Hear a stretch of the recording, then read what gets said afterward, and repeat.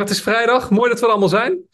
Uh, er druppelen vast nog wat mensen binnen. Maar ik stel voor dat we gaan starten. Het is 1 over 2. En um, ja, je zult denken, waarom is hij nou aan het woord? Nou, uh, Segge is helaas afwezig. En uh, die had mij gevraagd of ik de meeting wilde voorzitten. Dus vandaar, als daar geen grote bezwaren tegen zijn, dan stel ik voor dat we dat zo doen. Um, wat trouwens wel interessant is, dat is op zich open. Dus als je dat ook een keer leuk lijkt, Meld je aan. Um, goed, we doen altijd eerst even de check-in. Even kijken wie er allemaal is. We zijn altijd weer in een nieuwe samenstelling. Het is goed om onszelf even te introduceren. Dus zeg even wie je bent en vooral waarom je er bent. Dat vinden we altijd belangrijk om even te delen. Dus waarom ben je hier in deze meeting? Um, even zien. Pak even het lijstje met deelnemers, zodat ik niemand vergeet. Wout, beginnen bij jou. Uh, Wout Slakkers, ik werk aan de nutspecificaties in open source software. Uh, ik ben inmiddels meubilair hier, dus uh, daarom vandaag weer aanwezig. We kunnen niet om jou heen, heel goed. Egbert van Gelder. Ja, dankjewel Mark. Egbert van Gelder. Ehm, ik sluit vandaag aan om jullie wat meer te vertellen over de Grondplaatcoalitie. En ik ben werkzaam binnen VZVZ. Zo. Welkom. Maarten Hoek. Ja, goedemiddag. Uh, dag uh, Mark. Ja, hi. Uh, als oud-collega. Ja. Ehm, Maarten Hoek, senior beleidsadviseur bij Actis. En binnen Actis ook verantwoordelijk voor het leveranciersmanagement en ook betrokken bij de Cumulus Coalitie. Dus vandaar ook mijn aanwezigheid hier. Top, ook welkom. Marlene? Ja, dag. Marlene Gigaze. Ehm, ambassadeur van Open Standaarden, zo ook van de, de standaarden die we in de nutscommunity toepassen, uh, zelfstandig adviseur en oud-collega. Ook welkom. Uh, Roland Groen. Roland is. Ik uh, ben hier vandaag om een klein trucje met PKI-overheidscertificaten die we bedacht hebben te laten zien. Staan met Steven, maar het plot wordt... Oh, daar is hij! Geweldig! Ik vond het al heel interessant worden om dat zonder met Steven te doen. Dus ik kijk er naar uit, zoals altijd. En ik hoop dat we het mooi kunnen laten zien. Dus, cool. yes. wordt, het, wordt het een live demo? Nee, nee, nee. Ik heb het okay. een keer gedemoed en ik kreeg ik klachten dat het technisch was. Dus dat ga ik jullie besparen. Ja. Dus, uh... Oké, okay. komt goed. Yes. Ook welkom, dankjewel. Yes. Uh, Ron, Ron Obbens. Uh, Ron Obbens, ik, ik, wil mezelf nog geen meubilair noemen, maar ik ben wel een trouwe volger en probeer al aan te sluiten. En ik vertel vandaag ook wat over de stand van zaken generieke functies. Yes, ook welkom. Bastienne? Um, Bastienne van der Zanden, verpleegkundige en product owner voor ANW. De jongste use case die op, net, uh, op bij net strijdt natuurlijk. En ik dacht, laat ik eens een keertje kijken hoe het hiermee gaat. Tegenwoordig even mijn gezicht laten zien. Top, heel goed, ook welkom. Uh, Oeh, is mijn lijstje versprongen. Leendert. Ja, sorry. Uh, Leendert Gelder, ICT-manager bij Overgemeenszorg. En waarom ben je hier? Oh, uh, omdat ik het leuk vind. Goede vrijdagmiddag vulling. Uh, dat sowieso. Uh, en uh, benieuwd, leuke agenda. Dus ik dacht, laat ik eens aansluiten. Je hebt ook gelijk. Je hebt YouTube al uit waarschijnlijk. Helemaal goed. Ja, ja helemaal. Yes. Meneer of mevrouw Zande? Izande? Van Zande? Ja, Zande denk ik dat het zou moeten zijn. Ah. nee, van Zande, ik werk bij Topicus. ik ben hier vooral omdat ik vanuit Topicus bij de nutscommunity wat uren lever. met name op dit moment bij de huisartsinzicht. Super. Dank, ook welkom. Uh, Roald? Ja, Roald Dijkstra. Ik werk uh, bij Nedelp en ben daar vooral betrokken geweest bij het, de hele livegang van de e-overdracht. En uh, zo ook veel met NUS bezig. Ook welkom. Vincent?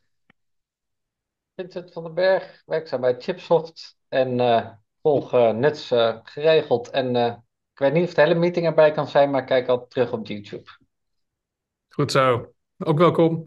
Steven. Ja, like en subscribe.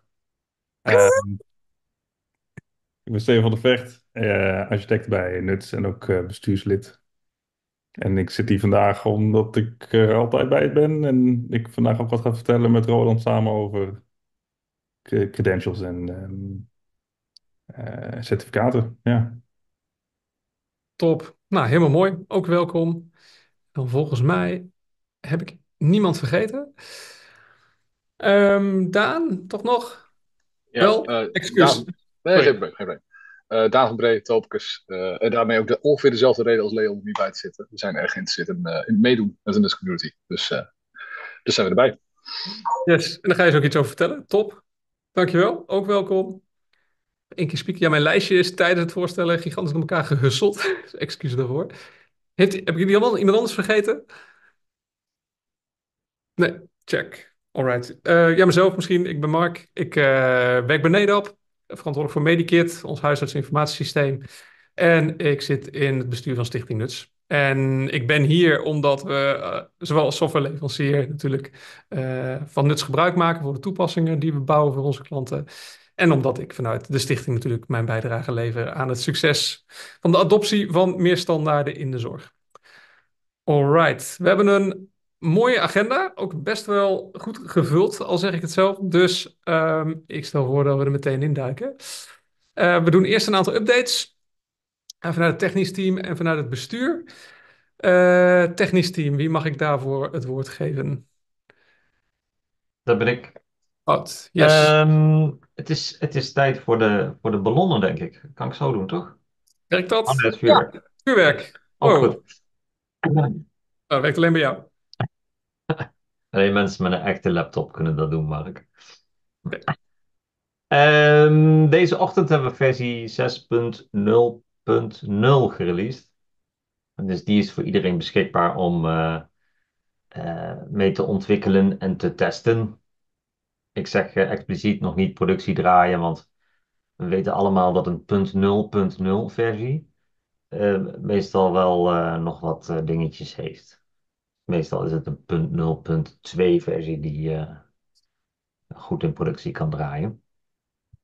Maar dat is in ieder geval ehm, een, een mooi, mooi bericht. Het heeft ongeveer ehm, een jaar geduurd dat we ermee bezig zijn geweest. Ik zag dat versie 5.0 was op twee weken na, exact twee jaar geleden, eh gereleased. Dus dat was al best een eh, lange tijd geleden. Ehm, en voor de komende tijd eh, gaan we denk ik voornamelijk aan documentatie werken op de wiki. Ehm, omdat daar ook nog wel redelijk vraag naar is. Dat in het kort. Dank voor de update. Zijn daar vragen over?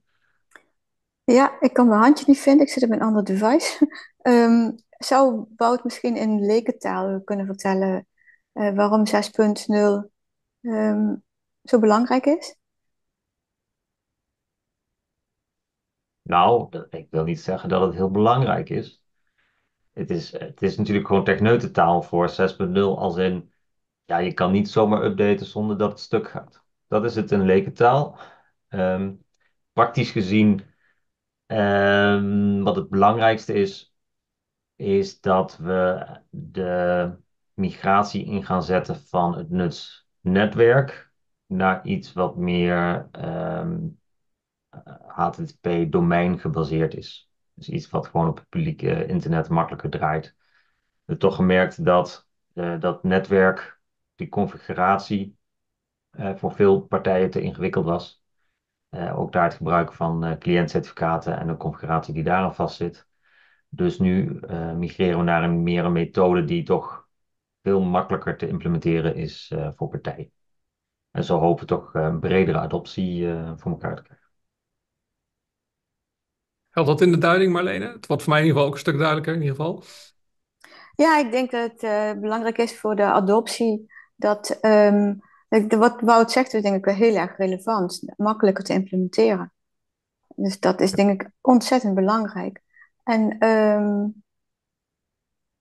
ja, ik zie nog wat andere mogelijkheden. Ik denk dat opschaling en andere domeinen nu ook nog makkelijker kunnen aansluiten. Maar dat, ik weet niet of ik dan te ver doorvertaal, Wout.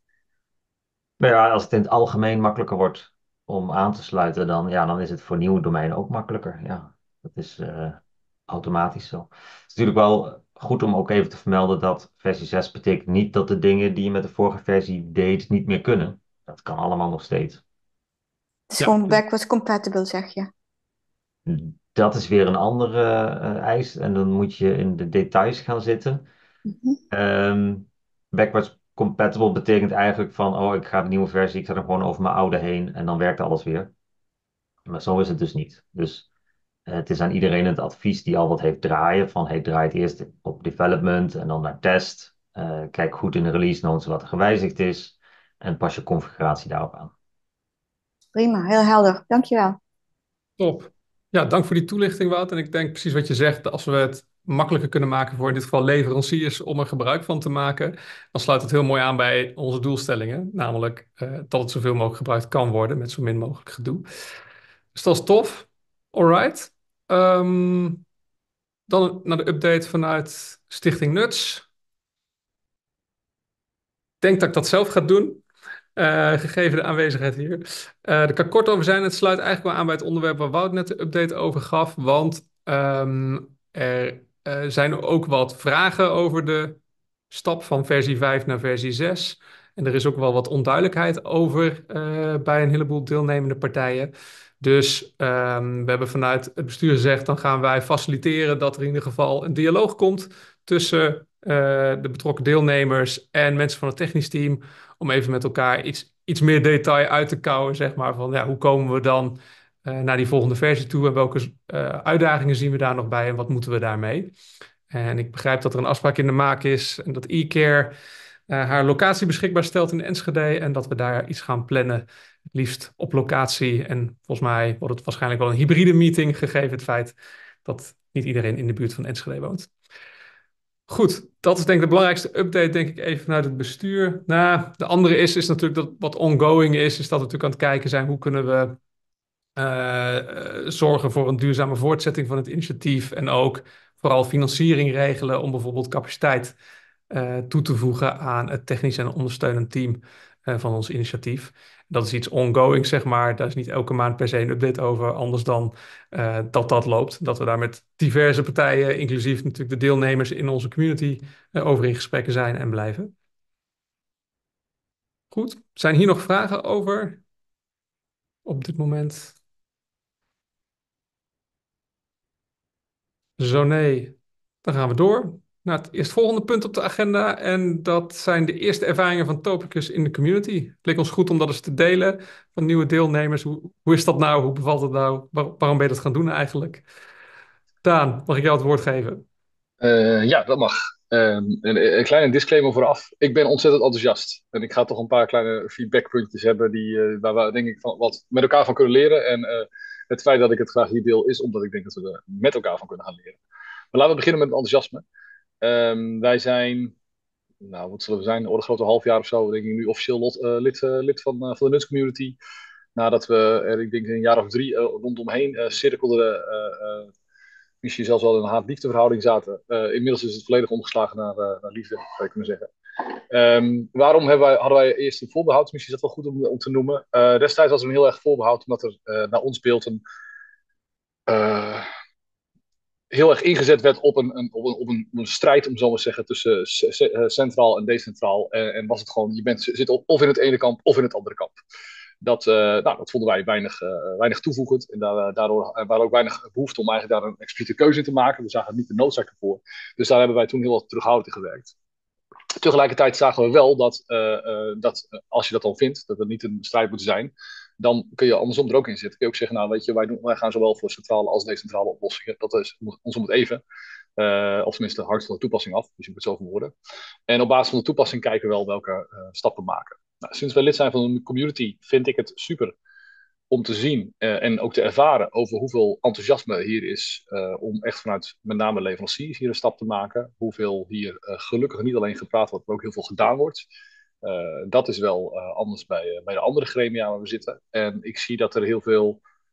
dat het lukt met een, met een drive die, nogmaals, met name leveranciers, maar op zich ook, ook verder achter met koepels en dergelijke. Dat je vanuit die drive echt een heel eind kunt komen met elkaar. En dat je niet alleen maar vanuit de top-down benadering hoeft te werken. Hè, dus pak even een voorbeeld. Als Nick dus nog niet in staat is om een paar zips vrij te geven en te valideren en weet ik wat allemaal nodig is dan zeg je als leverancier, dan beginnen wij alvast met een fire resource. Dat is een goede start. Uh, als community kunnen we het opbouwen en, en pakken we het op. Um, en daarom werken we ook met veel enthousiasme aan, dit, uh, aan het hele verhaal. Zoals ik aangaf, ik heb toch wel twee, laat ik het in ieder geval houden bij twee punten waarvan ik denk, daar kunnen we sterker in zijn.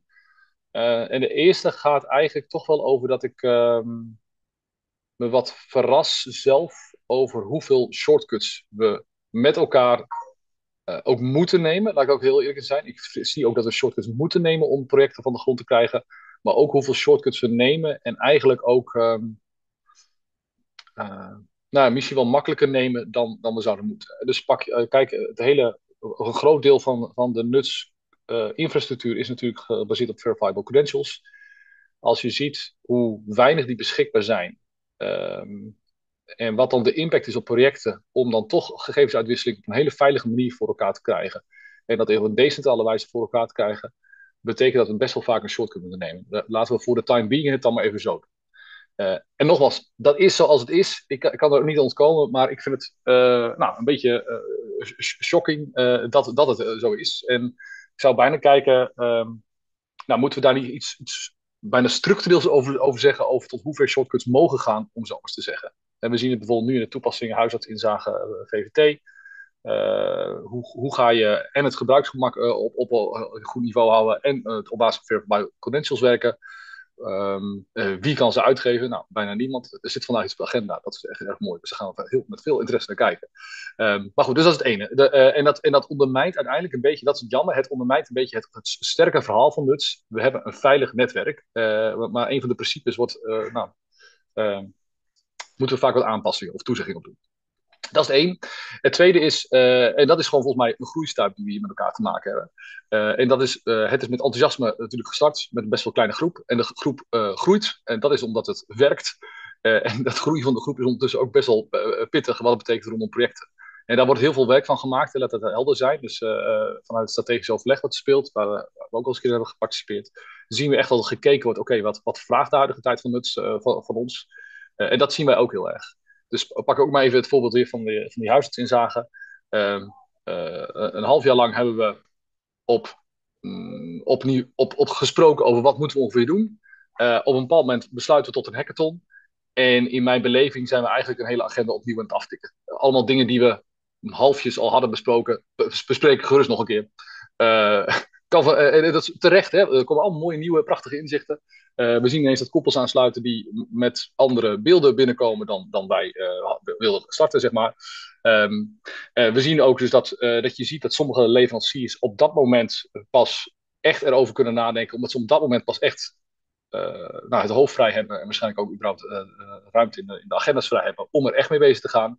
En dat vind ik wel iets waar we echt moeten opletten. Dus als wij projecten, hoe zorgen we dat die projectleiding ook gewoon goed gaat? Dat, die, dat de dingen die je, uh, dat je ook deed, waar, zit ik jou in een voortraject te werken? Met gewoon wat informeel idee uitwisselen? Of zit ik echt, we gaan nu echt wel even langzaam richting vastleggen hoe we dit gaan doen? Um, daar, uh, daar hebben we denk ik iets mee te maken. En ik denk persoonlijk, uh, dat is voor mij, ik was dat vorige keer met de Nuts Community langs, dat het steeds uitdagender gaat worden. Zeker omdat we ook nu natuurlijk naar situaties gaan dat we naar een nieuwe versie gaan van de standaard. Volgens mij kwam het vorige keer even langs bij, uh, ik meen de e-overdracht. Van joh, we hebben nu een versie en we willen zo meteen naar de volgende versie. Ja, dan gaan we volgens mij dit soort uh, vraagstukken best wel vaak krijgen. En waar, ik rondaf hoor, waar we soms wel. Um, gisteren zaten Leon en ik in een overleg. Uh, er kwam ook Nuts even langs. En dat even, even um, gezet tegenover, zeg maar even het grote VZ, VZ en Nictus. En waar aangegeven, joh, dat gaat allemaal zo traag en moeilijk en, en, en, en nou, zeg maar management waterhoofd. Dat is aan de ene kant misschien wel waar. Aan de andere kant is het ook wel dat, dat je misschien langzamerhand wel een beetje nodig gaat hebben. Dat er iets meer van structuur en dergelijke in geborgd wordt. En dat er weer een cadans in komt. Met inderdaad wat trager, maar wel wat uh, structureler. En daar zit ik, uh, nou, zit ik zelf ook nog over na te denken. Hoe, hoe behoud je die, die positieve vibe? En, en er gebeuren gewoon dingen, om het zo maar te zeggen. En zorg je er ook voor dat het, uh, dat het gaat werken in, in grotere getalen, uh, juist uh, omdat je succes hebt met elkaar. Ik ga één afsluitende zin, omdat ik wel, dus ik ben wel positief, dus ik snap dat ik nu twee kritiekpunten heb neergelegd, maar ik ben dus enthousiast en daarom blijf ik hier ook graag zitten en meedoen en, en, en gaan we dit tot een groot succes maken. Maar het lijkt mij goed om deze twee punten met elkaar aan te pakken in de komende periode, om, om nog verder te kunnen gaan. Tot zover mijn persoonlijke evaluatie, Mark. Top. Dankjewel, Daan. En precies, volgens mij hoor ik je ook zeggen van uh, ik wil graag onderdeel zijn van de oplossing dan ook Zeker. Voor, uh, voor de uitdagingen die ik zie. En dat is precies voor, uh, hoe we dit met elkaar doen volgens mij. Dus heel welkom. Super. Ehm, heeft iemand vragen over wat Daan gedeeld heeft? Iets wat niet duidelijk is?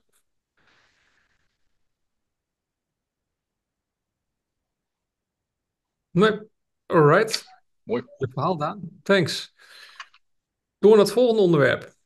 Eh, credentials op basis van UZI-certificaten. Wat werd net al aangekondigd, Roland of Steven of beide. Gaan er iets over laten zien of vertellen? Correct.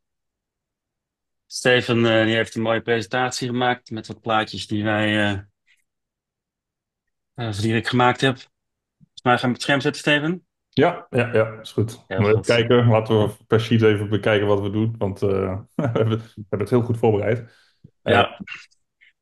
Ehm, Uw presentatie altijd lastig. Ja. Ik ben al wel heel blij eh, eh, eh, voor de, de introductie vandaan eigenlijk. Ehm, want eh, ja, daarmee eh, hoef ik al een heel stuk niet meer te vertellen. Nou, dus inderdaad, organisatiecredential op basis van een PKI-overheidscertificaat. En eh, ja, we zijn net ook UZI-certificaten, maar dat is in principe een PKI-overheidscertificaat. En ik noem het bij deze maar even een prachtige hack, want het is, eh, het is verre van optimaal, maar het, het pakt wel echt ons probleem aan. Wat is dat probleem nou eigenlijk? Kijk, wat we met Nuts hebben gemaakt is eigenlijk een hele elegante manier om eh, identiteit te kunnen aantonen. En we kennen dat eigenlijk wel uit de echte wereld. We hebben het gemeentehuis, die geeft een paspoort uit. Dat paspoort dat eh, is, zit bij jou in de, in de portemonnee eh, gedurende een bepaalde tijd. En op, eh, op een moment wanneer dat nodig is, kun je dat paspoort aantonen bij, nou in dit geval ook een plaatje van een bank gevonden. Maar er zijn natuurlijk talloze plekken waar je dat kan aanbieden. En de bank kan dan jouw identiteit valideren, verifiëren. En het mooie ervan is dat het hele gemeentehuis heeft daar niks mee van doen in die transactie. Dus dit is, en dit is een, een model wat we in de, in, de, in de wereld heel erg goed kennen. Eh, in, de, in de analoge wereld, maar in de digitale wereld zien we dat wat minder vaak. En eh, het mooie van eh, de technologieën die we in de nutsnode eigenlijk hebben ingebouwd, dat, die zijn dus recent zeg maar, opgekomen. Ehm, de zogenaamde self-sovereign identity principes. En daarmee kun je dit in de digitale wereld ook gaan doen. Het probleem alleen is dat zo'n paspoort, die bevat zeg maar echtheidskenmerken. En in een bepaald formaat om dat te doen. En die, daar, niemand geeft dat paspoort eigenlijk nog uit. Dat is een beetje het probleem. We hebben een CWG die in principe dit zou kunnen doen. Alleen eh, daar hebben we te maken natuurlijk ook met een, met een overheidsorganisatie. En wat, wat daar net ook heel mooi zei. Wij kunnen hier met elkaar al wel keuzes maken en nieuwe technologie uitproberen. Maar je kunt natuurlijk nog niet direct verwachten van, van dit soort organen. Dat ze dus dan ook eh, dat meteen uh, op zich hè, op inbouwen en, en meedoen. Dus dat, dan zet je vaak toch weer wat, wat meer traditionelere ehm, technologie. Dus ja, dat is het grote probleem. Dus wie geeft dan die credentials uit? Want dat is uiteindelijk ons anker, ons vertrouwensanker van het nutsnetwerk. Als wij een, een goede uitgever hebben van een paspoort, dan kan iedereen zich onderling met dat paspoort in de hand, zeg maar, zichzelf identificeren. Um, dus hoe lossen we dat nou op? Nou, daar hebben allerlei lelijke dingen voor verzonnen. Kleinschalig zeggen op een gegeven moment leveranciers die mogen zelf de identiteit van hun klanten uh, uh, uitgeven. En daar op basis daarvan vertrouwen we ook weer leveranciers dat ze dat netjes doen. Maar goed, wat je dan eigenlijk doet is een bewijs dat je netjes maandelijks je rekening betaalt aan die jouw leverancier. En niet zozeer of je nou een zorginstelling bent. En dat is uiteindelijk natuurlijk wel wat we willen weten. En uh, niet zozeer of jij nou een, een, je, je contract met je leverancier nakomt. Dus we hebben iets anders nodig. En um, even kijken hoor, volgende sheet. We hebben een soort oplossing dus verzonnen. Het CWG geeft namelijk, het CWG geeft geen uh, credentials uit, maar wel UZI-certificaten. En UZI-certificaten is wat we dus, wat we dus zeg maar, nou die bestaan natuurlijk al best wel lang als concept. Alleen die zijn op dit moment gewoon überhaupt niet bruikbaar in de verifiable credential wereld. Dat zijn eigenlijk twee ja, complete disjuncte stukken techniek. Alleen er is dus nu een nieuwe uh, uh, standaard ontwikkeld, een DoD-methode, zoals dat dan wordt genoemd.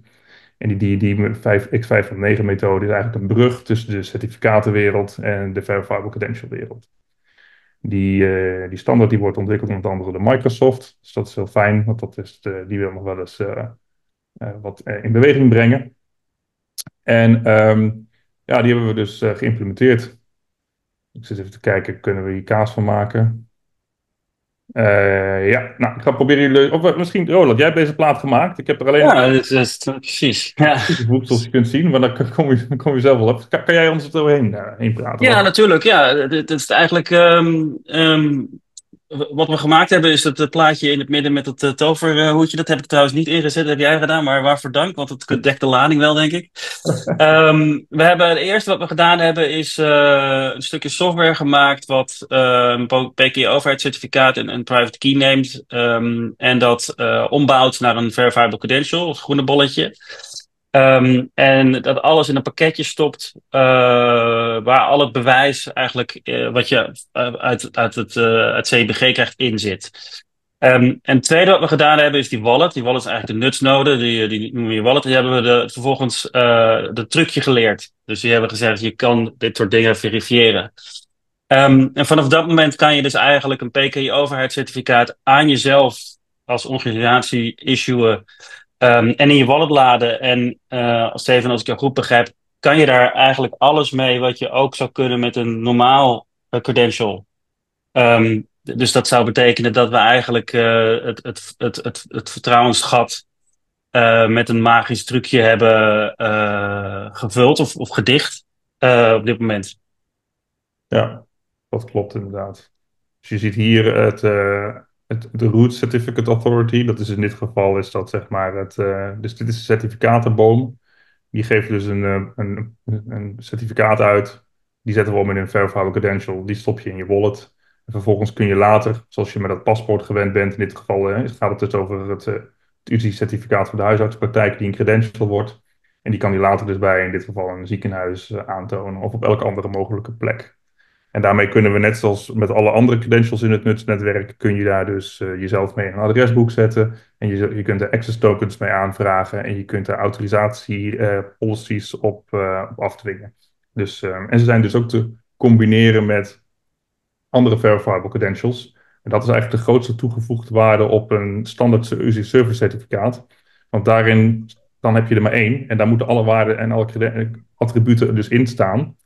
En het mooie van verifiable credentials is dat je ze dus kunt combineren. Dus als jij een UCI-certificaat of een, een UCI-credential hebt met je organisatie-identiteit en op een andere plek bijvoorbeeld vanuit het Factus je organisatie-type, eh, dan kun je, en, en ergens anders heb je bijvoorbeeld nog een kwalificatie over het feit dat je een eh, use case eh, eh, goed hebt geïmplementeerd, dan kun je dat hele bundeltje gezamenlijk gebruiken om jezelf eh, toegang te geven of te verkrijgen bij een bepaalde bronhouder of jezelf eh, nou ja, ergens te adverteren in, in een adresboek. Dus dat zijn de grote voordelen van verifiable credentials, onder andere ten opzichte van die, eh, die, die, eh, die certificaten. Ik zie wat handjes. Ehm, Misschien heel even, even, want eh, ook even Maarten, Daan, goed dat jullie vragen hebben. Even check. Ik stel voor dat we tijdens presentaties verhelderende vragen doen. En als het discussievragen zijn, even aan het eind bewaren, met jullie goed vinden. Eh, dus misschien even, hebben jullie een vraag over wat Steven en Roland hier laten zien en net verteld hebben? Maarten? Ja, dankjewel eh, Mark. Eh, Steven, eh, even een vraag ter verduidelijking. Is dit een wijze waarop je een organisatie identificeert of een persoon? Ja, het, het- in, in dit geval, ehm, in de breedste zin kunnen we elk, eh, eh, elk X509 certificaat kunnen we omzetten in credential. Iets smaller werkt dat dus, hebben we nu PKI overheidscertificaten getest, met in dit geval servercertificaten, waarbij je dus de URA kunt gebruiken als organisatie. Maar in combinatie met bijvoorbeeld een, eh, een desktop, eh het toeltje wat hier staat met dat toverstafje, dat draait dus nu, dat als je dat zou installeren op een, op een computer met een kaartlezer, kun je dit trucje ook doen voor eh UZI-passen. Dus je zou eh, dat nog wat verder, want dat wordt natuurlijk steeds ingewikkelder naarmate je dus gebruikers en dingen en kaartlezers nodig hebt. Maar het is allemaal, in, in, het is allemaal technisch mogelijk om dat dus eh, voor elk type certificaat te doen, inclusief de, de certificaten op een UZI-pas. Heb je dan ook een oplossing voor eh, eh, verzorgenden die geen big- niet, in het BIG-register staan? Eh, nee, want eh, je hebt nog steeds wel een, in dit geval dus een partij nodig die dus een, zo'n certificaat uitgeeft. En als je dus geen UZI-pas mag krijgen, dan kun je dus ook geen certificaat krijgen en dan kun je dus ook niet dit trucje toepassen. Ehm, Duidelijk. ja, oké. Helder. Daan? Eh, ja, als ik een discussievraag stel, gaat die dus achteraf, eh, eh, voor de duidelijkheid.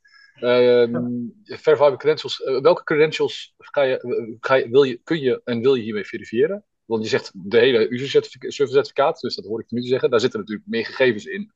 Heb je daar al, heb je daar al is, is, dat, is het beperkt tot, nou, dit kan je tot de URA doen? Of dit kun je ook AGB? Of is dat iets wat, eh wat weer in de discussie hoort?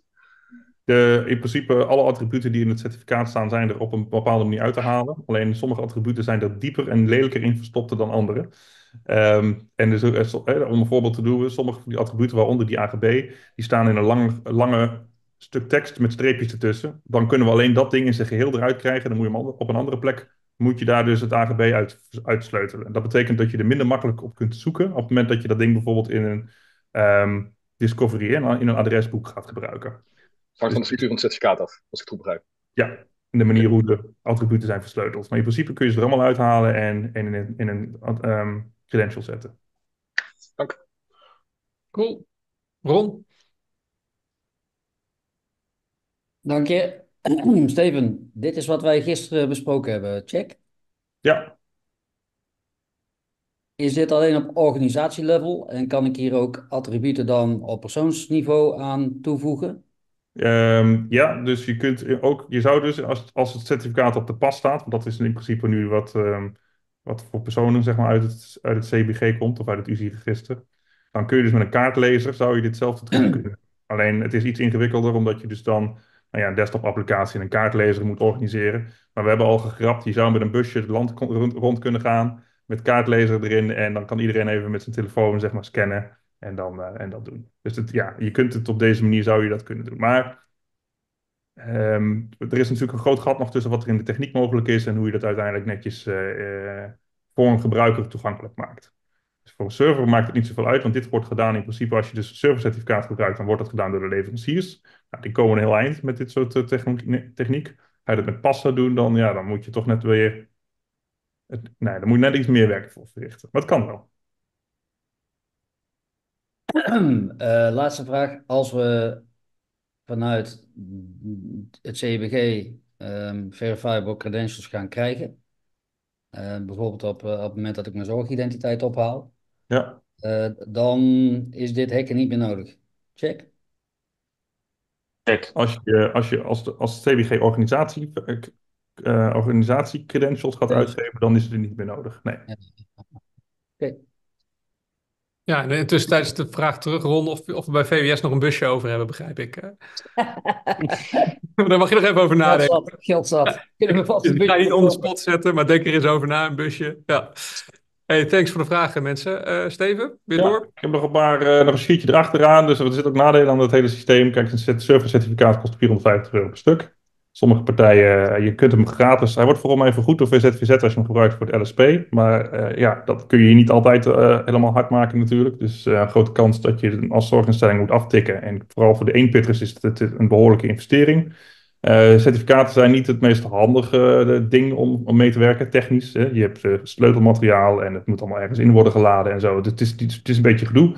Er zijn leveranciers in ons midden met meer dan 3500 eh, eh, eh, klanten. Nou, het lijkt mij een redelijke uitdaging om 3500 van die certificaten zeg maar, te gebruiken en dit ermee te doen. Maar goed, dus het schaalt niet zo lekker en de benodigde attributen staan dus niet heel mooi in het certificaat. Wat eh, ik net ook al had over het AGB-code bijvoorbeeld. Hè? Dus een aan elkaar gekoppelde lijst van nummertjes.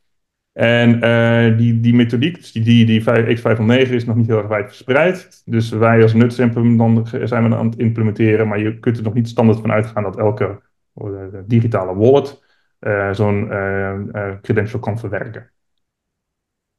Maar goed, dat is wat ik zei. Microsoft kan daar misschien een beetje gas op geven. Ehm, nou, hoe ver zijn we? Ja, dus er is een proof of concept. We, hebben het, we kunnen het, we kunnen het op lokale laptops laten zien. Ehm, we hebben dus een stukje, of we, Roland heeft een stukje software gebouwd die dus die certificaten kan, kan omzetten in een credential in de nutsnode en kan ze straks dus verwerken.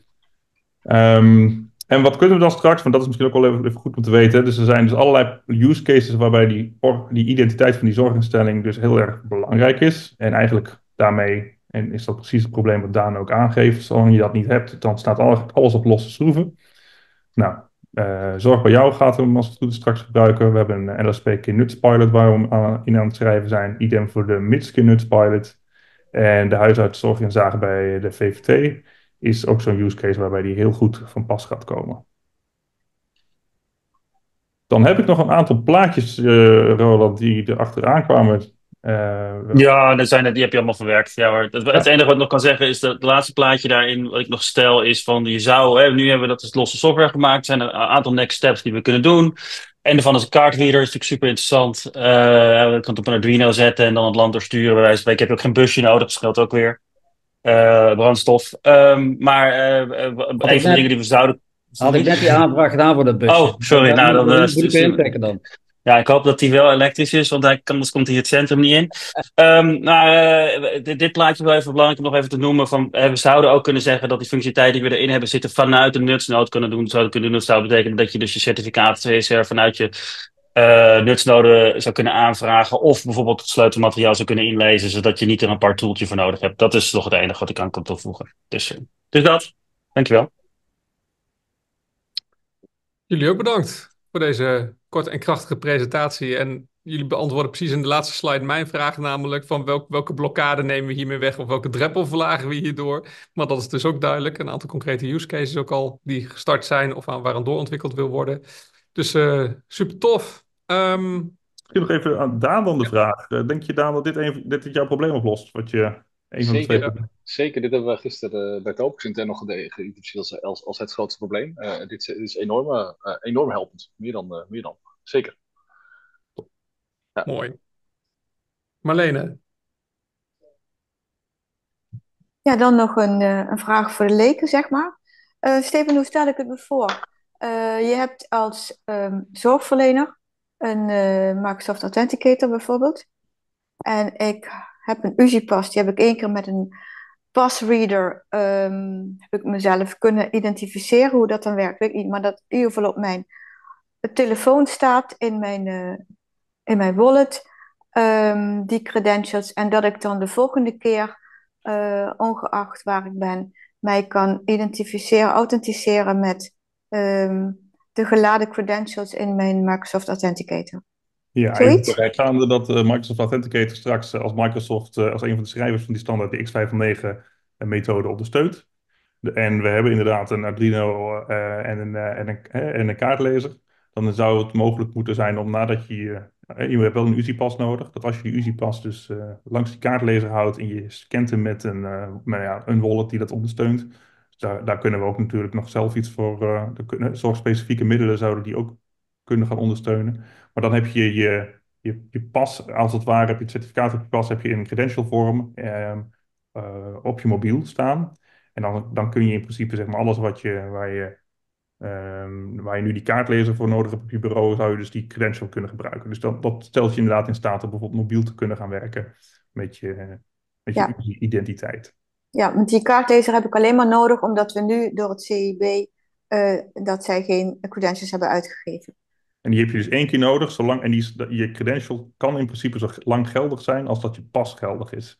Als die pas drie jaar nog geldig is, dan zet je dus één keer je, dat ding erop en dan heb je drie jaar lang, zolang je in ieder geval je telefoon hebt, hè, kun je dus eh, ehm, daar jezelf mee eh, authenticeren. Ja, dank je. Dank, dat is nogal een mooie toevoeging inderdaad. Alright, uh, we zitten lekker op schema mensen, maar ik stel Mag ik voor dat een vraag stellen?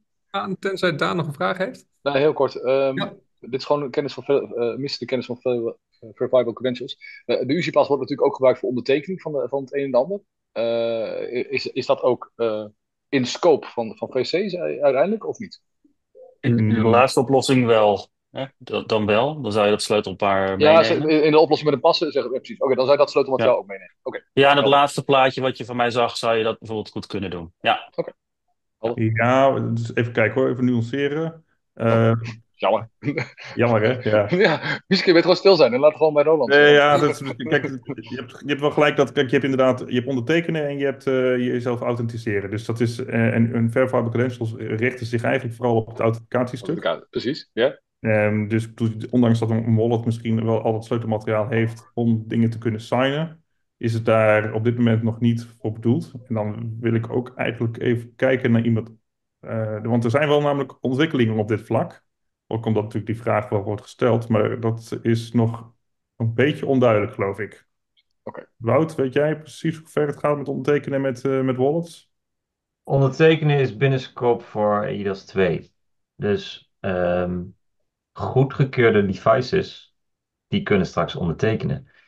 En, en daar, daar hoor je hem al. Deze oplossing zal dus initieel geen goedgekeurd middel zijn op deze manier. En het is ook de vraag of bijvoorbeeld Microsoft ooit gaat zeggen: ik ga hem goed laten keuren voor eh, als Europese wallet. Want er zit natuurlijk wel haken en ogen aan. En eh, dat kost ons heel veel geld. En eh, het levert niet zoveel op, want er zullen allemaal gratis wallets gaan komen. Kijk, technisch gezien kan dit voor een oplossing zorgen. Ehm, alleen of het een goedgekeurde oplossing gaat worden, dat, dat is het moeilijke. Ehm, ook omdat eh UZI vanuit de wet DIAS gebonden is aan een qualified eh, attribuut uit te leveren. En dat betekent dus dat en de issuer en de wallet moeten allemaal goedgekeurd worden door de EU. En daar zit de moeilijkheid. Oké, dankjewel. Thanks. Alright, dan stel ik voor dat we doorgaan naar het volgende onderwerp op de agenda. Ehm, en dat is van de Grondplaatcoalitie. Wat, waarom, hoe en de relatie met Nuts door Egbert van Gelder en Ruud Bongers. Egbert heb ik gezien, Ruud niet. Maar die ging volgens mij inbellen, of niet, Egbert? Of...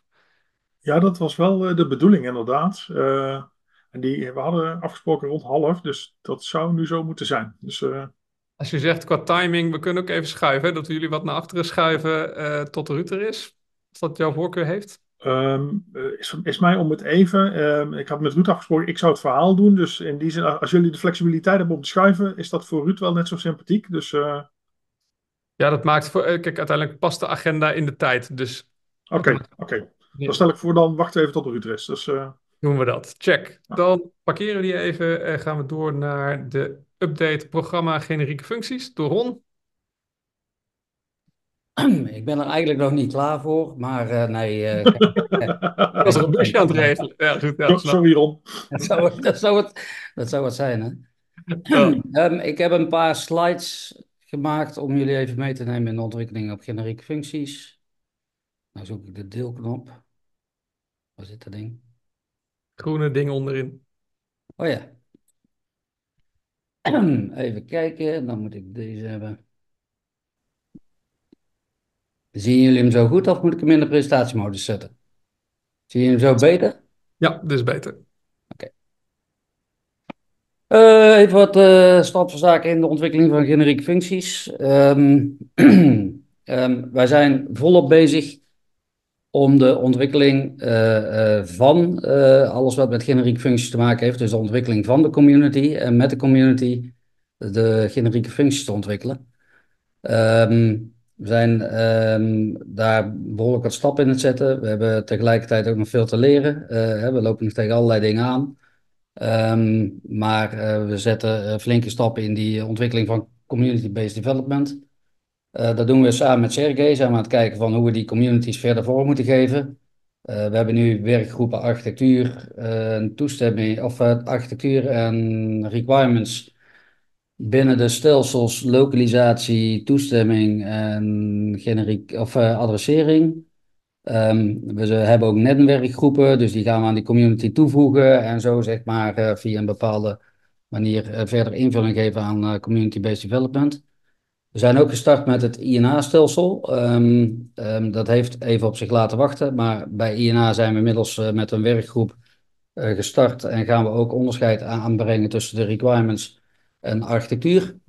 Om de openliggende vraagstukken die er eigenlijk nog zijn op het gebied van INA, om die ook eh, op te gaan pakken. Ehm, want INA is tot nu toe vooral DAISY. En eh, we moeten ook wat met, eh, en dat is een identificatie, zorgidentiteit op persoonsniveau.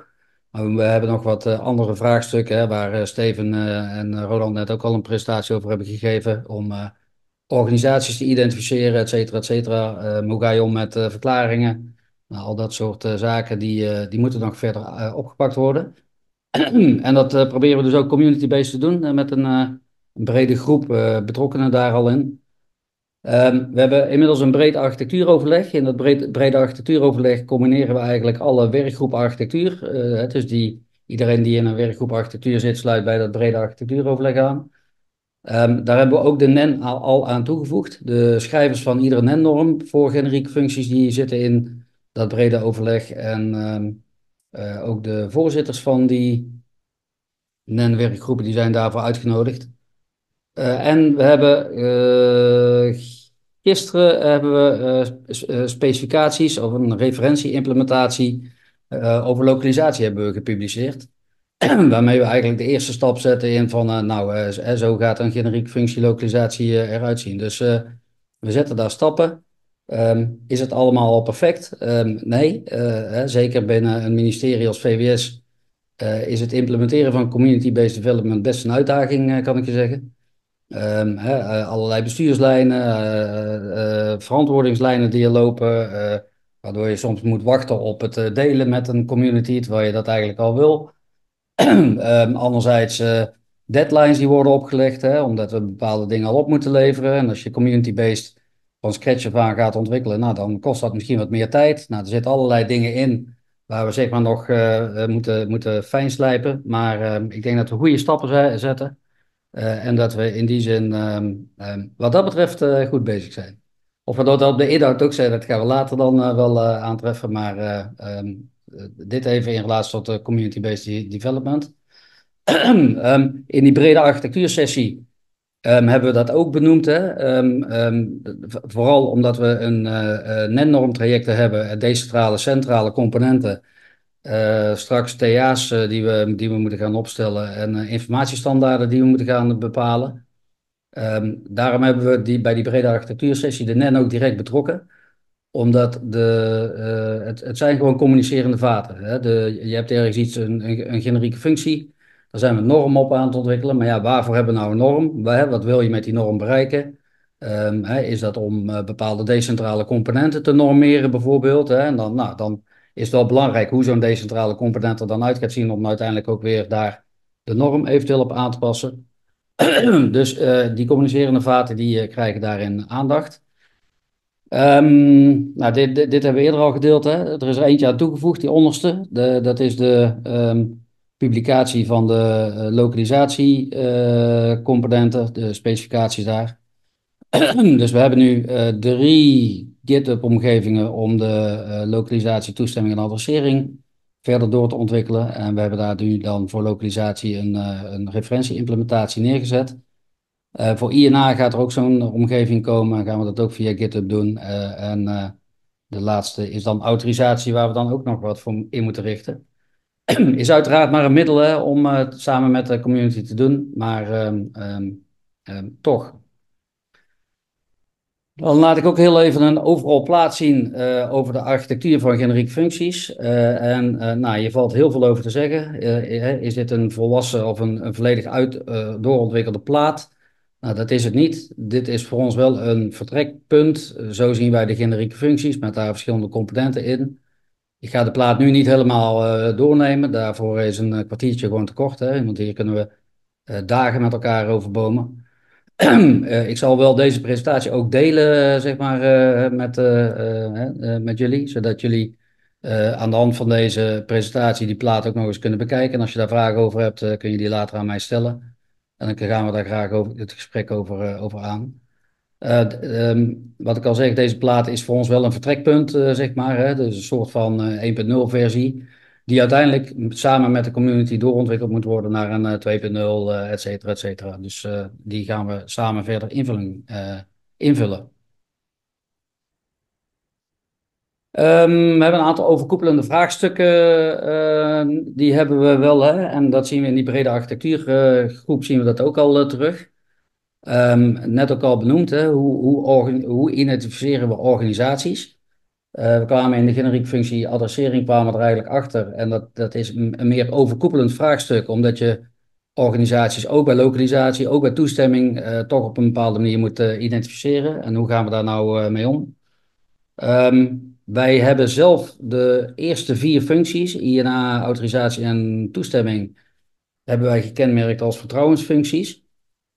Um, Bij een vertrouwensfunctie, eh, dan, haal je, dan haal je eigenlijk iets op. Hè. Je moet eigenlijk iets aantonen. Hè. Bij INA, eh, bij identificatie is, het aantonen eh, wie je bent. En met authenticatie is het dan dat je dat kunt laten zien. Hè. Dat je inderdaad bent wie je zegt dat je bent.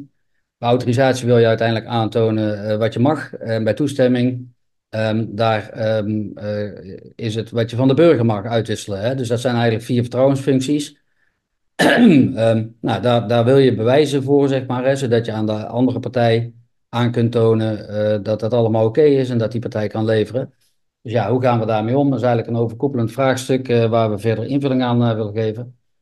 En we zijn bezig met de pseudonymisering. Ehm, ik heb eerder al gemeld volgens mij dat we bij lokalisatie polymorfe pseudonymisering toe willen passen.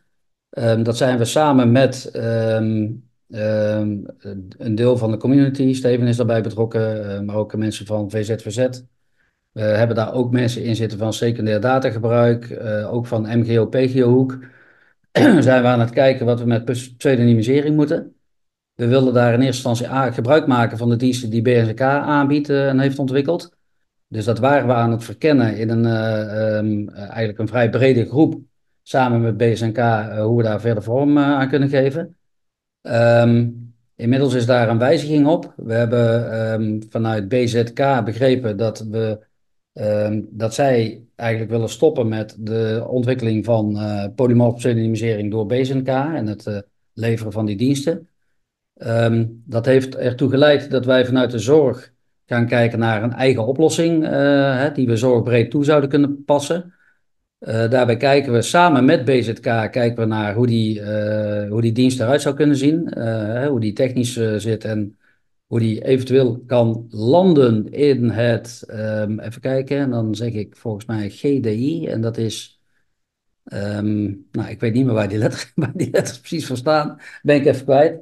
Maar als het in dat stelsel valt, dan zit daar wel een stukje ehm, Ehm, eh, daar, dan, daar is in geregeld dat we dan BSN gerechtigd zijn. En BSN gerechtigd, dat heb je nodig om zeg maar dingen te kunnen doen, om een BSN überhaupt eh, om te kunnen zetten naar een eh, pseudoniem, pseudoniem wat we gaan gebruiken.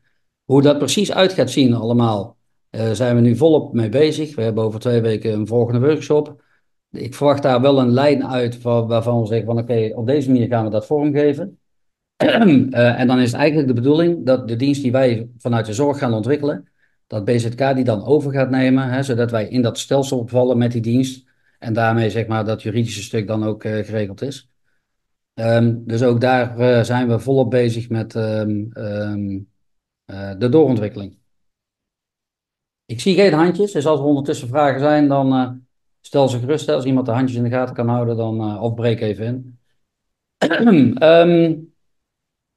Ehm, korte termijn eh, en lange termijn. Ehm, we zullen eh, tussenstappen moeten zetten. Eh, v- vandaar ook dat wij die eh localisatiecomponenten en de, we hebben een interne proof of concept hebben gemaakt.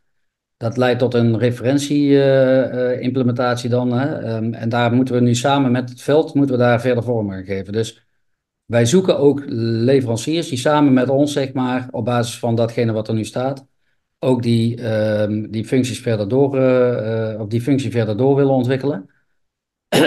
Ehm, verder gaan wij ehm, kijken waar welke functie belangrijk is, uiteraard. Ehm, localisatie is eigenlijk voor de BGZ en voor e-overdracht niet direct nodig, hè, omdat je in een verwijzend proces zit en dan weet je al wel waar het naartoe moet. Eh, bij medicatieoverdracht, bij beeldbeschikbaarheid heb je wel een lokalisatievraag. Bij acute zorg ehm, eh, weten we dat nog niet helemaal. Denk wel dat daar uiteindelijk ook een lokalisatievraag eh, in zit. Ehm, dus daar gaan we heel gericht kijken naar van wat moeten we met de generieke functie voor die vijf geprioriteerde uitwisselingen. Want als we geen lokalisatievraag hebben, dan hebben we vaak ook geen toestemmingsvraag nodig. Dus bij de BGZ, bij e-overdracht, bij acute zorg is eigenlijk de toestemmingsvraag via MITS eh, niet direct relevant. Dus moet je daar dan volledig op inzetten qua implementatie? Dat zijn we nu aan het afwegen en daar gaan we heel gericht gaan we daar in de implementatie vorm aan geven. Ehm, beeldbeschikbaarheid heeft hoge prio. Daar ligt een tijdlijnvraagstuk. De referentie implementatie op lokalisatie is ook gericht op beeldbeschikbaarheid. Ehm, Ehm, dus daar gaan we heel gericht kijken of we de generieke functies wel voor beeldbeschikbaarheid mogelijk kunnen maken, omdat daar ook al pilots op lopen. Uh, overigens zijn we ook betrokken bij medicatieoverdrachten om tussen VVT-instellingen en huisartsen en apothekers ook medicatieoverdrachten um, goed op gang te krijgen. um, en we zullen dus een uh, transitiearchitectuur uh, gaan bepalen van waar willen we in plateau 1 precies staan. Hè, want we zetten nu onderdelen neer van een doelarchitectuur. Waar we ook nog verder aan werken. Maar in plateau 1 moet er wel wat draaien. Dus we gaan even dat afpellen naar plateau 1 van wat zijn de stappen die we dan nog moeten zetten in de, het komende anderhalf jaar, ruim een jaar. Um, om uiteindelijk te komen tot volwaardige generieke functies, waarbij we ook andere landelijke uitwisselingen zeg maar, vorm kunnen geven. Hè. Dus niet alleen die vijf. We zijn overigens ook met geboortezorg als zesde uitwisseling zijn we in gesprek om te kijken hoe we die generieke functies voor geboortezorg in kunnen richten. Um, we zullen nog uh, structurele wijzigingen aanbrengen hè, op die uh, verdere ontwikkeling. en we zullen de doelarchitectuur uiteindelijk, hè, die ook nog in ontwikkeling is, maar wat er dan uiteindelijk uitkomt, die zullen we uiteindelijk ook moeten gaan realiseren natuurlijk. Dus dat zit dan meer gericht op de lange termijn. Volgens mij ben ik er nu door. Yes. Alright. Bedankt Ron voor de update uh, over de generieke functies. En uh, nou, verheldert de boeren weer uh, waar we staan. Mooi om te zien dat er voortgang is. Um, omwille van de tijd zou ik willen voorstellen dat we doorgaan naar het volgende onderwerp. Tenzij iemand daar bezwaar tegen heeft. Alright. ik geloof dat Ruud inmiddels ook in de meeting zit. Ja. Ja. Uh, dan stel ik voor dat we nu naar jullie onderwerp gaan, Egbert en Ruud. En misschien Ruud, kun jij jezelf nog even introduceren, want je was er niet bij vanaf het begin. Nee, dat is helemaal goed. Uh, ik zal het kort doen. Uh, Ruud Bongers, lead architect Cumulus. Uh, ik heb hier eens een keer iets verteld over dat onderwerp, volgens mij. Dus, eh, en het is inderdaad leuk, want je ziet dat we weer langzaam bij elkaar komen. Dus ik vind het leuk om in ieder geval nu weer een keer deel te nemen. En we hebben, zoals jullie misschien weten, pas ook een stichting opgericht waar alle koepels in vertegenwoordigd zijn.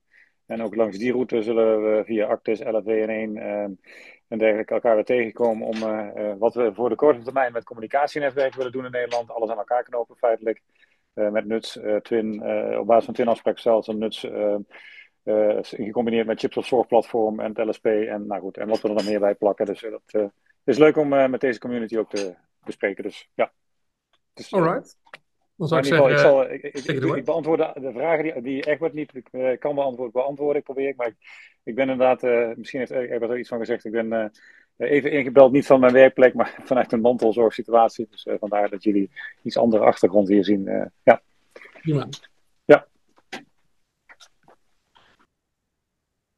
Ja, zal ik jullie meenemen in het verhaal. En wat, wat ons betreft, als er tussendoor vragen zijn of opmerkingen, laat dat vooral weten. Dus Um, ik, ik, denk niet dat wij het hele half uur uh, nodig hebben als het goed is.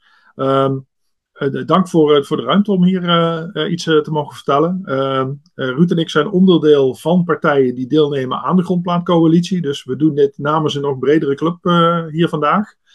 En op deze slide zien jullie de partijen die op dit moment onderdeel zijn van de coalitie. En ik moet daar ook nog bij zeggen dat Celiso inmiddels ook is aangehaakt. Dus ook de leveranciers zijn voortaan vertegenwoordigd in dit verhaal. Uh, de presentatie die we jullie gaan geven is uh, eigenlijk met twee doelen. Op de eerste plaats om jullie te informeren over uh, wat er is gebeurd waar we staan.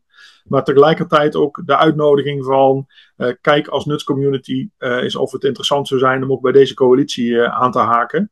Omdat we denken dat we hier met elkaar een stap maken waar we met z'n allen wat mee kunnen. Maar dat is de vraag eigenlijk voor het einde. Maar dan weten jullie alvast wat onze doelstelling is van waarom we dit presenteren hier. Dus, um, dit is een hele slide vol met tekst. Uh, we zullen de presentatie ook uh, sturen. Maar uh, waar dit eigenlijk om gaat van wat is nou de historie achter de gedachte van de grondplaatcoalitie?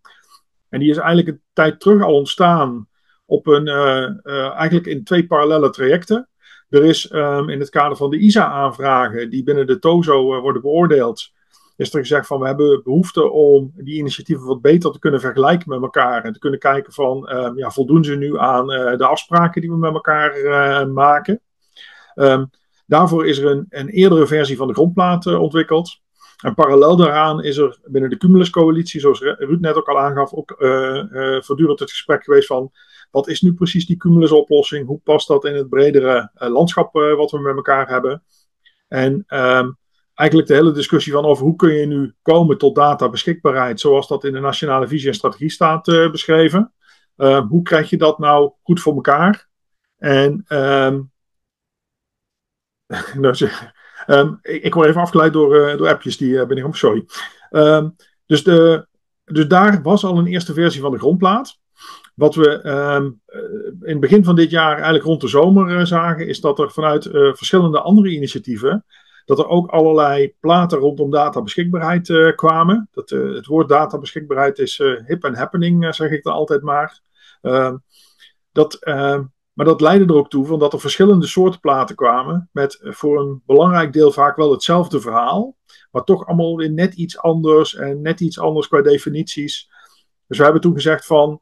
Um, is het niet verstandig om met die partijen die hiermee bezig zijn, en dat is gaandeweg ontstaan de afgelopen maanden, schuine streep weken, om te kijken van kunnen we niet tot één beeldtaal komen, uh, met elkaar ook afspreken dat we de, de platen die we eerst zelfstandig maakten, dat we die uh, achter ons laten.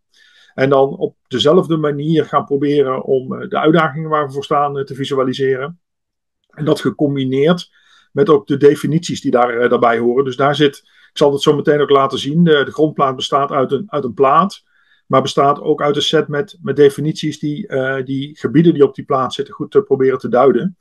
Omdat we ook zagen dat daar nog wel eens misverstanden of verschillen in zaten van uh, wat er nou met bepaalde termen bedoeld werd. Um, en het laatste punt dat op deze slide staat, is denk ik ook uh, belangrijk om hier te noemen. kwam vandaag ook al een paar keer voorbij, hoorde ik in de, in de landelijke ontwikkelingen, bijvoorbeeld rondom het, uh, het LDN-programma voor uh, de landelijke, het landelijk dekkend netwerk van infrastructuren. Uh, ook daar wordt gezocht naar van hoe kunnen we dat nu goed uitleggen, wat dat nou precies is, hoe werkt dat, hoe past het in dat landschap. En de grondplaat is daar ook gebruikt om te kijken hoe dat de Kamerbrieven goed vormgegeven kunnen worden. En ook hoe dat ehm, het transitieplan, wat hier voor het einde van het jaar voor opgeleverd moet worden, Um, hoe dat de grondplaat erbij kan helpen om dat te duiden van um, in welke stappen zou je dan op een bepaald, bepaalde plek kunnen komen. Dus dat is even de, de achtergrond en de aanleiding voor, voor het verhaal. Nou, ik ben ervan overtuigd dat een aantal van jullie alvast wat materiaal hebben gezien, maar dit, dit is dan hetgeen waar we het dan over hebben. En um, ik zal jullie proberen er even doorheen te praten van wat je hier ziet. Maar voordat ik dat ga doen, laat ik ook even gelijk zien wat ik net zei. Van achter al deze slides zitten een, een, set met slides die per laag, die we in de plaat tegenkomen, een, een, beschrijving van de definitie, wat verstaan we daar dan onder. Die dingen zijn niet altijd zelf uh, bedacht, die zijn daar waar dat ging uh, gebaseerd op uh, afspraken die al elders gemaakt waren, bijvoorbeeld binnen de definitieset van, van Nictus. Er zijn linkjes aangegeven van als dat naar andere lagen refereert. En wat we ook zagen is dat er soms toch nog misverstanden waren over die definities. En dan is er een nadere duiding opgenomen, die dan wat beter beschrijft van waar mogelijk misverstanden kunnen ontstaan op basis van de definitie. Uh, dus, dus de combinatie van, uh, van deze plaat en die definities die, daar, uh, die daarachter zitten. Um, we hebben in de grondplaatcoalitie een 1.0 versie die jullie hier nu zien vastgeklikt. Um, maar we weten ook dat dit nog iets is wat continu in, in doorontwikkeling uh, zal zijn. Dus dit is uh, niet een eindversie of een definitieve versie. Uh, we zien het ook vooral als iets van om met elkaar steeds weer een stapje verder te komen. Um, nou, wat zie je dan op deze plaat? ik denk dat het belangrijk is om even aan te geven dat er onderscheid is tussen de linkerkant van de plaat en de rechterkant van de plaat. Um, daar gaan we ook met de vormgever nog kijken van om dat beter te maken, van, dat dat onderscheid duidelijker is. Um, de plaat is bedoeld om uh, te laten zien hoe dat databeschikbaarheid in het gezondheidsinformatiestelsel uh, gerealiseerd kan worden. Um, waarbij de linkerkant iets laat zien over wat voor soort omgeving een comité en, en via wat voor lagen kun je dan zorgen dat databeschikbaarheid geregeld wordt.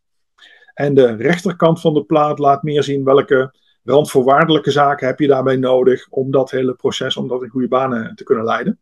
En achter elk van die dingen zou weer meer detail opgenomen kunnen worden. Dus het is echt een, een soort van canvas. Voor de mensen die in, uh, uit de businesswereld komen, die kennen misschien ook wel de business model canvas uh, als uh, model wat Osterwalder heeft gemaakt. Um, is ook zo'n zo'n plaat met gebieden daarin. Maar je kunt de plaat gebruiken om heel veel verschillende soorten situaties daarop te duiden. Dat is ook gelijk een misverstand wat we, wat we uit de wereld willen helpen. Er zijn ook mensen die zeggen van, is dit dan een architectuurplaat? Nee, dat is het niet. Het is niet bedoeld als het, de plaat die eh, bij eh, werken onder architectuur eh, zou, zou moeten komen en onder de doelarchitectuur.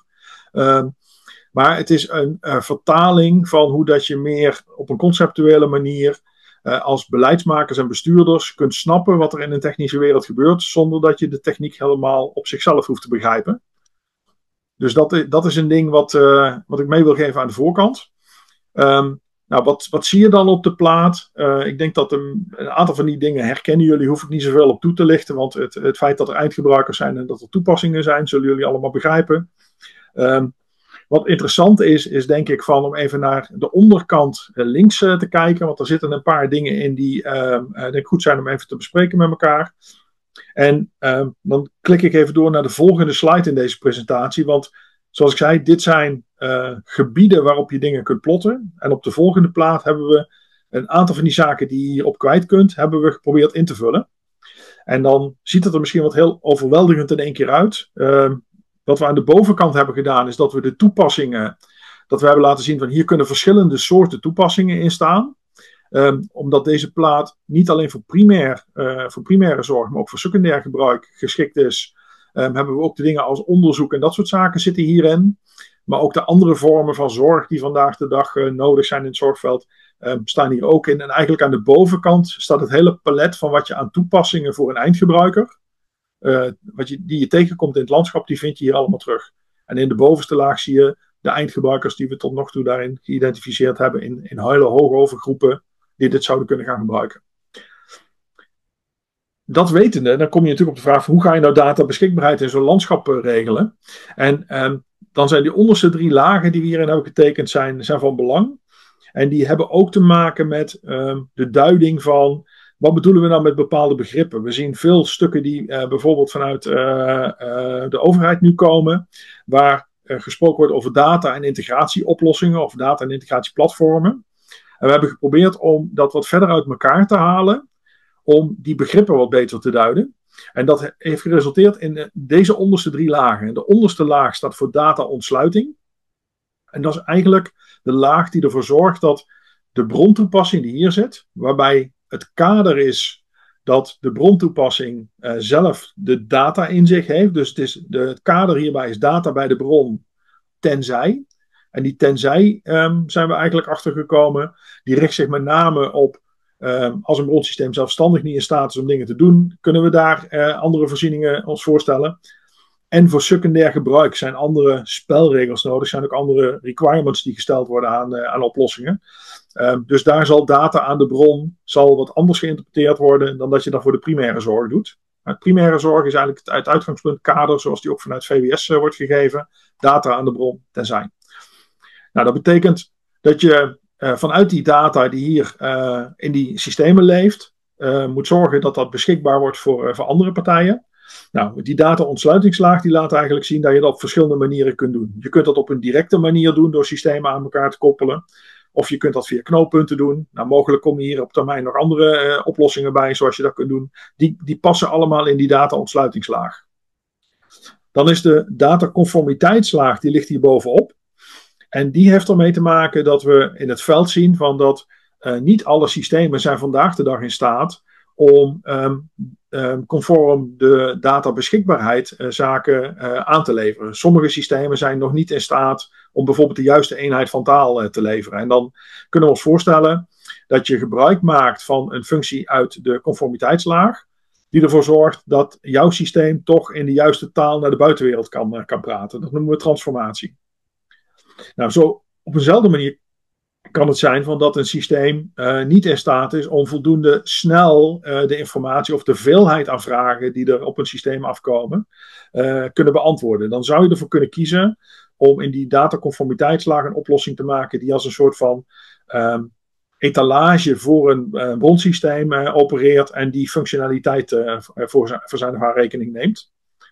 En de derde blok aan functionaliteit wat we hier voorzien is we hebben dat continuïteit genoemd. En met continuïteit bedoelen we dan, um, als je als bronsysteem niet um, de data uh, beschikbaar kunt stellen, zolang als die beschikbaar zou moeten zijn volgens wet of regelgeving, afspraken of andere dingen. Dus dat je um, de informatie niet meer hebt. Eh, en die zou je dan dus aan eh, zo'n eh, zo'n blok uit kunnen besteden. Dit zijn alle drie functionaliteiten die leven in een conformiteitslaag.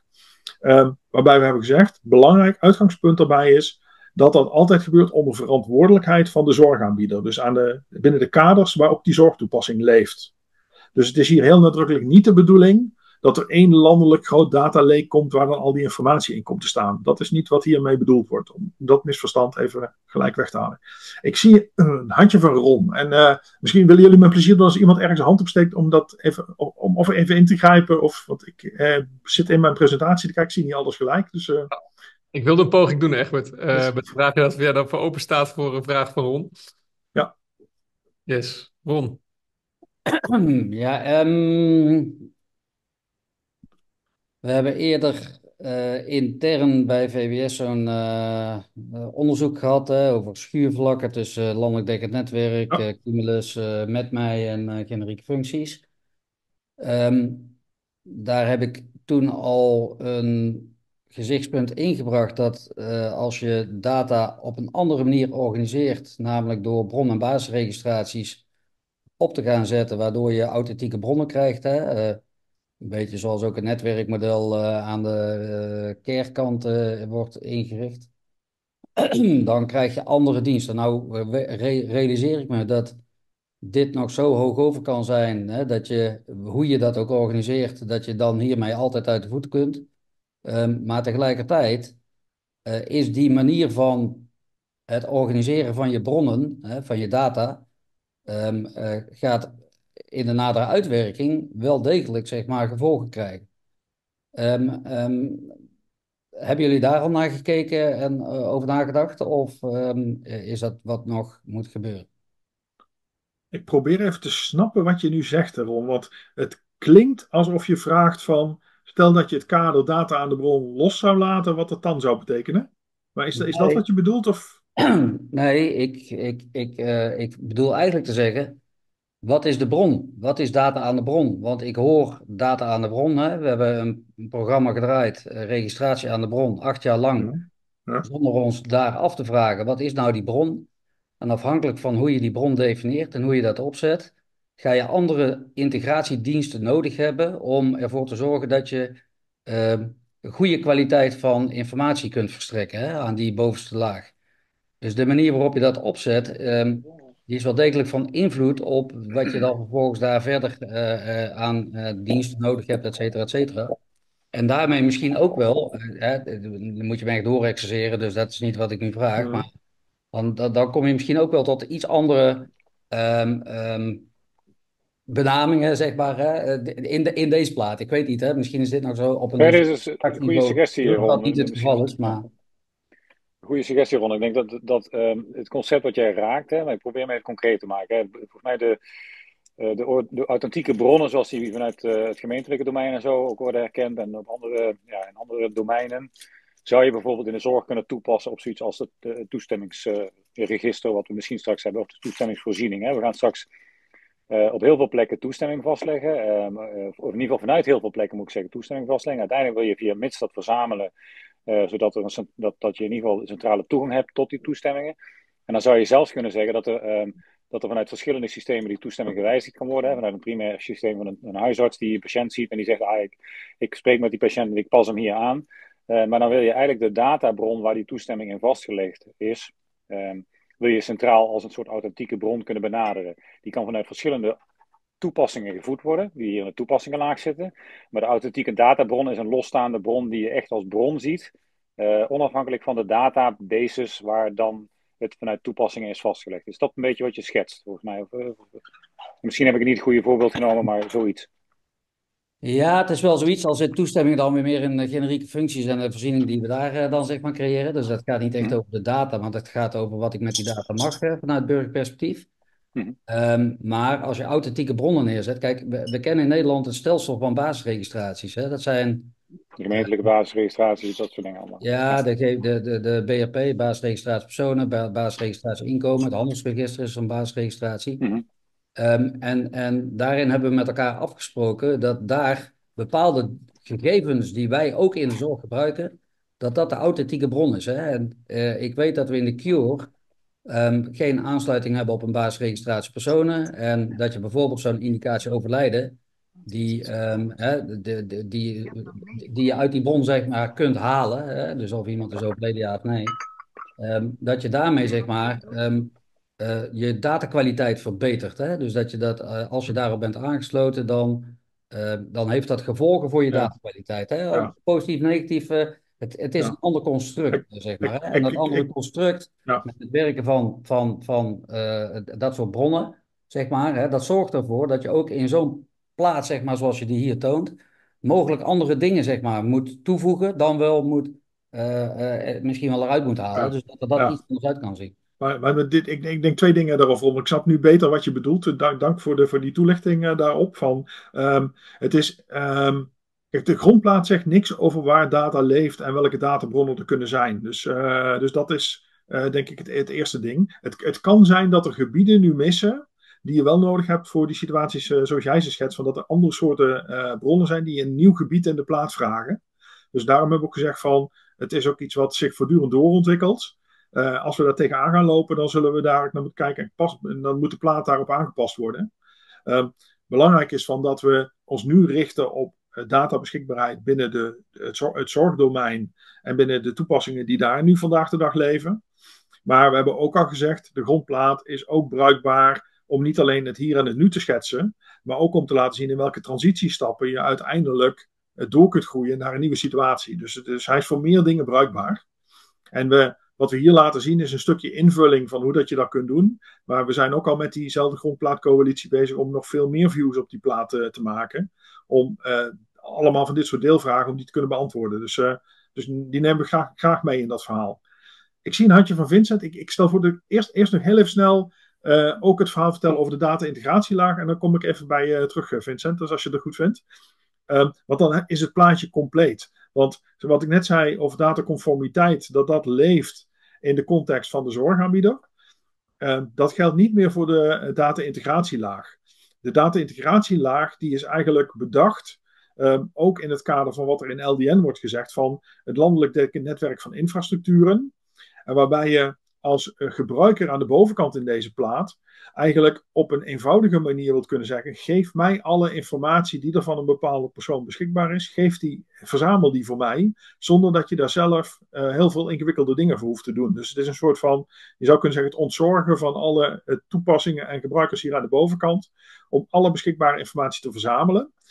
En ook daar gaan we detailplaten voor uitwerken om dat beter te laten zien. Want je kunt je voorstellen dat dat verzamelen gebruik maakt van lagen hieronder. Dus die gaat of via directe ontsluiting, of via knooppunten, of eh, via componenten die in de conformiteitslaag zitten. Gaat hij de informatie verzamelen en biedt dan eigenlijk dat als een soort van zak van data-elementen, biedt hij dat aan aan een bovenliggende toepassing. Ehm, nou, jullie horen al, dat is dan een losse verzameling van datapunten. Ehm, wat we ehm, met name in netwerk georganiseerde zorg eh, heel veel horen, is dat je niet alleen de behoefte hebt om al die losse datapunten te krijgen, maar dat je ook een samenhangend dossier terugkrijgt. En we hebben dat hier reconciliëren genoemd. We hebben daar nog discussie over of dat, dat het goede woord is.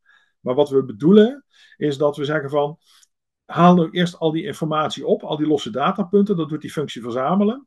En dan kan die functie reconciliëren die kan eh, ervoor zorgen dat er een samenhangend dossier van wordt gemaakt, wat dan door de bovenliggende applicatie en de eindgebruiker eh, gebruikt kan worden. Waarbij we dan gelijk zeggen van, dat, maar dat is nog wel een hele ingewikkelde exercitie. Want eh, als je dit vandaag de dag wil doen, het is niet een, alleen een technisch feestje, want technisch heb je al best wat uitdagingen om überhaupt te kunnen re reconciliëren. Maar ook zorginhoudelijk ehm, zie je dat het nu vandaag de, vandaag de dag vaak alleen maar kan als er een zorgverlener, een zorgprofessional naar kijkt. En daar uiteindelijk van zegt van dit is dan het samenvattende dossier. En uh, hier hebben we met z'n allen, denken we, in uh, het ICT en zorgveld nog wat te doen. Van hoe ga je dit dan wel voor elkaar krijgen? Onder welke verantwoordelijkheid ga je dat dan doen? Want je gaat dan ook inhoudelijk uh, informatie bewerken. En hoe past dat dan binnen wet en regelgevingen? Dus, dat is, dus ook daar zitten nog wel een aantal vragen achter. Dat is ongeveer wel de ingewikkeldste component die we tot nog toe tegen zijn gekomen in deze hele plaat. Dus, uh, en daar moeten we het met elkaar nog, nog verder over hebben. Nu stop ik met praten en dan geef ik het woord aan Vincent, want die had zijn hand opgestoken.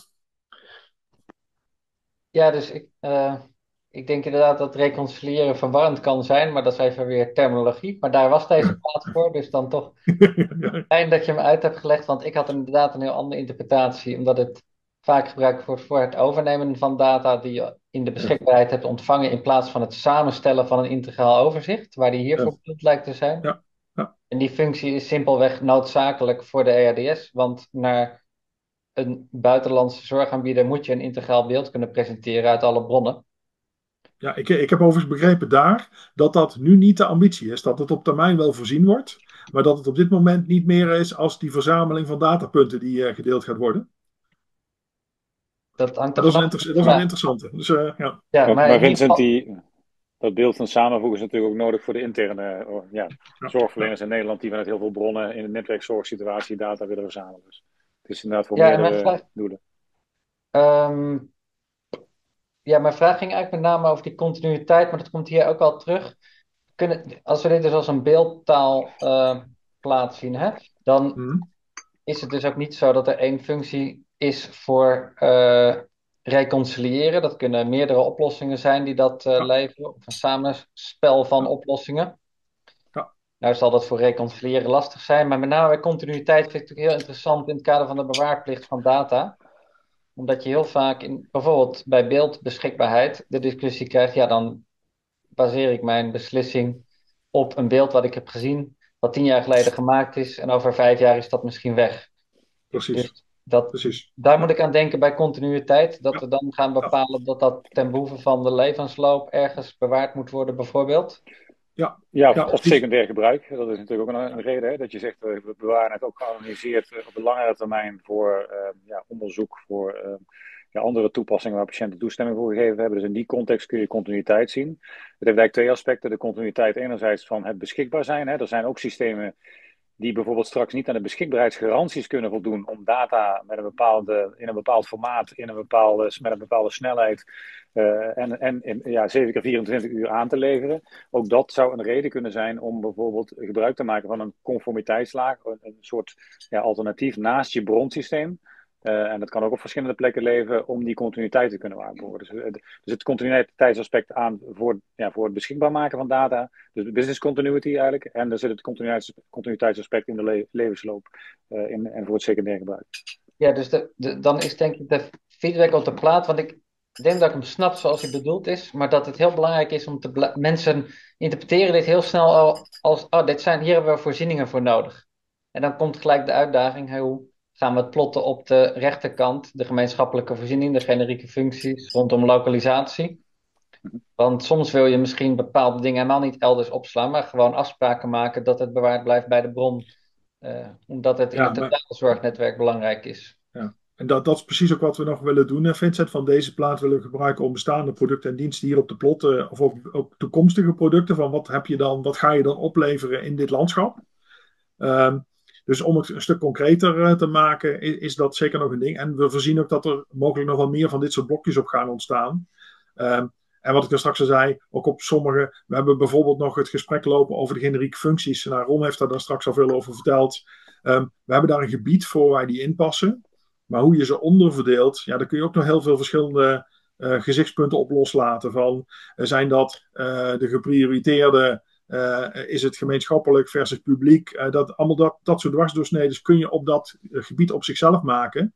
De grondplaat zegt daar eigenlijk niks over. Die zegt gewoon van, als je ze ergens neerzet, zet je ze op die plek weg.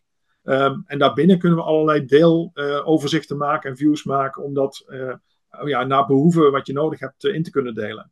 En, ja, en dat kan, dat kan ook betekenen dat sommige functionaliteiten niet nodig zijn. Dus als je rechtstreeks via Ja. direct of een knooppunt de juiste eenheid van taal hebt en je kunt het verzamelen, dan kun je stap 3 en 4 op dat punt bijvoorbeeld overslaan. Dus, pre- precies, het is mooi dat je die zegt. En als het goed is, zien jullie dat ook in eh, hoe de plaat is opgemaakt. Van, daarom zijn laag 3 en 4 ook smaller getekend.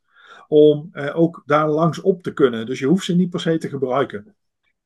En dat, datzelfde geldt voor functies als verzamelen en reconciliëren. We zien nu dat er vandaag de dag ook allerlei toepassingen in het veld zijn. die dat zelfstandig al doen. Dat is ook prima, dat mag. Dus de plaat zegt niet van het moet allemaal op deze manier gebeuren. Het zegt meer van als je het doet, dan kun je het op verschillende manieren doen. Ja, dus dat is de reden waarom 3 en 4 smaller is, omdat er ook. Dank. Ja. Yes. Ik, ik ga heel even inbreken, Egbert ook, want eh, ik zie dia 7 van 81 en je hebt nog twee minuten. Dus ik ben even benieuwd wat je daarmee wil doen, wat jullie daarmee willen doen. Wat ik, oh, dat, had ik, dat had ik aan de voorkant moeten zeggen, Mark. Sorry. Wat ik, wat ik doe is, ik gebruik de presentatie waarin wij ook als coalitie doorwerken. Ja. Daar zit veel meer materiaal in dan wat ik nu laat zien. Want dit is mijn laatste slide die ik eh, wil laten zien eh, voor nu. Want het gaat hier over dat jullie weten dat de plaat er is en dat er definities achter zitten. We zijn al aan het doorwerken in de coalitie met al die views waar ik het net over had. Hoe kun je verschillende dingen duiden? Eh, een van de vragen is bijvoorbeeld van hoe zou je eh, het LDN hierop moeten plotten en wat is dat dan? Nou, dat, daar, zijn ook al, daar is allerlei materiaal voor. Daar was deze presentatie nu niet voor bedoeld. Eh, dit is met name bedoeld van, herkennen jullie van waarom dit waardevol is om dit met elkaar te doen? En de tweede vraag is van, zou het voor de nutscommunity interessant zijn om mee te doen en mee te denken in eh, wat we rondom die grondplaatcoalitie doen, om tot een nog bredere eenheid van beeld en taal eh, te komen? Ja, en die laatste vraag is wel even interessant inderdaad. Hebben jullie zelf ook over nagedacht, neem ik aan, van wat is de, welke relatie zien jullie, zeg maar, vanuit de grondplaatcoalitie met wat we bij Nuts aan het doen zijn? Kun je Nou ja, kijk, als je, als, je- als je denk ik kijkt naar wat de nutscommunity voor heeft, dan lijkt het voor een groot deel ook op eh, dingen als databeschikbaarheid speelt ook voor de nutscommunity. Ehm, dat, dat moet ook passen in het grotere landschap. Dus het, eh, het is een onderdeel van de grotere plaat, om het maar zo te zeggen. Dus in die hoedanigheid zou het ook goed zijn om dat gewoon goed erin te zetten. Eh dat kunnen we natuurlijk als coalitie zelf eh, doen. Maar het zou veel mooier zijn als we dat gezamenlijk kunnen doen. En kunnen zeggen van dit is een beeld waar we met z'n allen achter staan. Eh, even los nog van hoe dat je de plaat in gaat vullen. Hè, want dat vind ik ook wel belangrijk. Dit zegt niks over hoe het moet gaan worden. Dit zegt alleen iets over van op welke manier gaan we de, de voorstellen neerzetten. Zodat ze onderling beter vergelijkbaar zijn. En ja, te mappen zijn op elkaar. Of kunnen laten zien hoe ze met elkaar samen het landschap invullen. Eh, Alright. Check. Is het oké om het hierbij te laten voor nu? ja, ja, wat mij betreft wel. Eh, Top. Dan eh, dank ook voor jullie presentatie. Dank ook voor de discussie die we hebben, over hebben kunnen voeren met elkaar. Misschien nog wel goed om één afspraak Ja. te maken, Egbert, nu we toch zitten bij deze community. Hè. We hebben ook hier, kijk, dit, dit is natuurlijk beeldtaal die vooral bedoeld is straks om een bestuurders en eh, ja, partijen die besluiten nemen en die regie voeren, ja, eigenlijk op eh, zeg maar 30.000 voet inzicht te geven in de componenten die bijvoorbeeld in bepaalde initiatieven terugkeren. Want het is niet bedoeld als. dus, dus je kunt dan bijvoorbeeld dingen die je aan het doen bent plotten op deze plaat. Ehm, om dat te doen en om die beeldtaal gewoon consistent te hebben, zodat uiteindelijk bestuurders en besli- die eh, beslissingen nemen daar steeds herkenbare platen van terugzien, ehm, wilden we dit introduceren.